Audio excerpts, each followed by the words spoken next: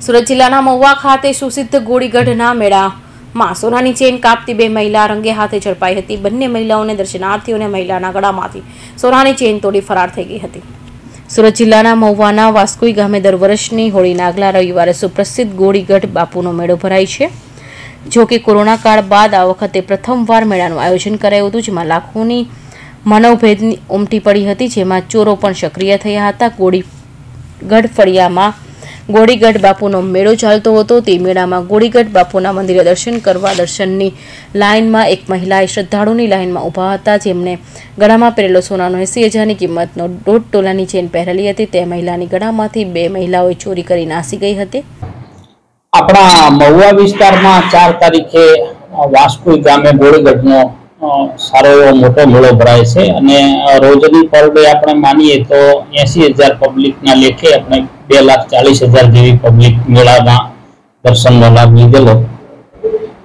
આ મેળામાં ઉત્તર ગુજરાત, મહારાષ્ટ્ર અને અલગ અલગ જગ્યાએથી ખાણીપીણીની અને રમકડાની વગેરે સ્ટોલ રાખવા માટેના અલગ અલગ માણસો આવતા હોય છે અને ઘણા બધા સ્પર્ધાળુ માણસો છે એ અહીં માનતા લીધેલી હોય છે. એટલે એના હિસાબે વાહનોની પણ સંખ્યા બહુ મોટા પ્રમાણમાં હોય છે. આપણે એકસો ને સાઠ જેટલી પોલીસનો બંદોબસ્ત રાખેલો. અને મહુવા પીઆઈ બારોટની દેખરેખ હેઠળ આ તમામ મેળાની આગેવાની નરેશભાઈ ચૌધરી કરીને છે. એમણે લીધેલી. અને બહુ સારી રીતે આયોજન કરેલું.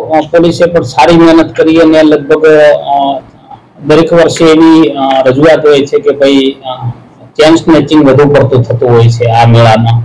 પણ આનંદની વાત એ છે કે આ વખતે શરૂઆતથી જ પીઆઈએ અને તેમના માણસોએ મહેનત કરી અને ચેન સ્નેચિંગ કરનાર બે મહિલાઓને પકડી લીધેલી. એટલે આખો મેળો બિલકુલ કોઈ પણ પ્રકારની કોઈ, પછી કમ્પ્લેન નથી. આવી અમે કંટ્રોલ રૂમ પર મેળામાં રાખીએ છીએ અને કંટ્રોલ રૂમમાં આ પ્રકારના બનાવો બનતા હોય છે, એની નોંધ પણ કરવામાં આવેલી હોય છે. એટલે માત્ર બે મોબાઈલ અને એક પર્સની જ નોંધ આવેલી છે. કારણ કે શરૂઆતમાં જ આ લોકોએ વોચ કરી અને બે મહિલાઓને પકડી લીધેલી.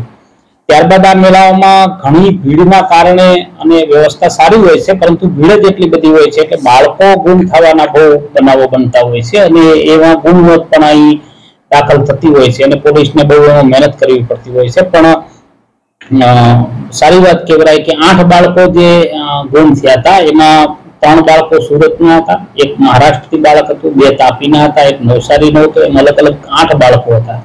અને આઠે આઠ બાળકો પોલીસની સતર્કતાથી મેળવી પણ લીધેલા અને એમના મા બાપનો સંપર્ક કરીને એમના મા બાપને પણ સુપ્રત કરેલા. અને સારી રીતે પોલીસે બંદોબસ્ત કરી અને એક રાત અને બે દિવસનો આ મેળો હોય છે. એમાં રાત્રિના સમયે પણ એટલી જ ભીડ હોય છે અને એટલા જ દર્શનાર્થીઓ આવે છે. ત્યાં અલગ અલગ સ્ટોલો લાગતા હોય છે એટલે આપ જાણી શકો છો કે બહારથી જે વેપારીઓ આવતા હોય છે એમને પણ ઘણીવાર આ ચેન સ્નેચિંગના લીધે થઈને અ, ભોગવવું પડતું હોય છે. અથવા તો પબ્લિકને પણ એની બહુ હાલાકી ભોગવવી પડતી હોય છે. પણ આ વખતે બહુ સારું આયોજન કરી અને ટ્રસ્ટીઓ અને પોલીસના અને બે આરોપી પકડેલ છે અને એસી હજારનો મુદ્દામાલ રિકવર કરેલો છે. તેમાં અને બીજા બે પ્રોહિબિશનના કેસો પણ એકસો પંચ્યાસી અને એક પ્રોહિબિશનનો કેસ કરેલો છે. બે એકસો નવ પણ કરેલી છે. અને બે લેડીઝને પકડી અને ચેન પણ રિકવર કરીને એસી હજારનો પૂરેપૂરો મુદ્દામાલ રિકવર કરેલ છે પોલીસે ઉપર મેળે સ્ટિચિંગ કર્યું હતું ઘટના પૂછપરછ દરમિયાન અ, આની પહેલા અ, ઉમ, જ્યારે જ્યારે મેળો દર વર્ષે આવતો ત્યારે આવા બનાવો બનતા. પણ આ વખતે સતર્કતાના હિસાબે શરૂઆતમાં જ આ બે લેડીઝ પકડાઈ ગયેલી અને મુદ્દામાલ સાથે પકડાણી. એટલે અને પોલીસની સતર્કતા હોય તો મતલબ કે એ એ એ બના- બનાવ એવો છે કે એ લોકો કાતર હાથમાં રાખે છે. લેડીઝ જતા હોય, ભીડભાડ હોય અથવા તો કોઈ ફેરિયા એકદમ પેલા વસ્તુઓ લઈને આવે એમાં લેવા, એ દરમિયાનમાં લોકો પાછળથી, કાતરથી એનો દોરો કાપી નાખે. અને પછી એને ધક્કો મારે સેજ એવો ધક્કો મારે એવો, એનો દોરો એના હાથમાં આવી જાય. આ ટ્રીક છે એ લોકોની. પણ શરૂઆતમાં પકડાઈ ગયેલા, એટલે પછી કોઈ બનાવ બનેલો નથી. જે ઘટના બાબતે મહુવા પોલીસ મથકમાં મહિલાએ પોલીસ ફરિયાદ આપી હતી, જે દરમિયાન મહુવા પોલીસે પીએસઆઈ એજે એ બારોટની બાતમીને આધારે વાસુકુઈ ચોકડી ખાતે બે મહિલાને ઝડપી પાડી હતી. સુરત રેલવે ફાટક નજીક રહેતી રાધાબાઈ બલિરામ મહાર તેમજ શારદાબેન રાજેશભાઈ રાવળને ઓળખ કરાઈ હતી. સોનાની ચેન કટર વડે કાપી લઈ ચોરી કરાયેલી કબૂલાત કરી હતી. Suresh Rathod, Hind TV news Bardoli.